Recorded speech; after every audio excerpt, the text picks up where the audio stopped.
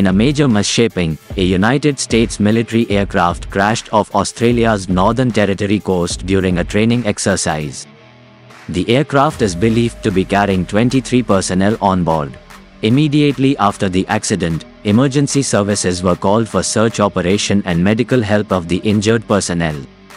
The incident involved a Boeing MV-22B Osprey aircraft on Melville Island shortly before 10 am local time on Sunday.